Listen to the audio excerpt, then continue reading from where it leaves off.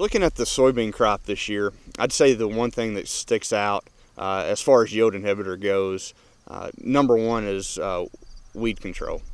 Uh, two weeds specifically, specific to Ohio, that we are having issues with uh, mare's tail as well as ragweed. There's been very poor control uh, with those two weeds, and um, it, it's really been a detriment to the crops in 2013.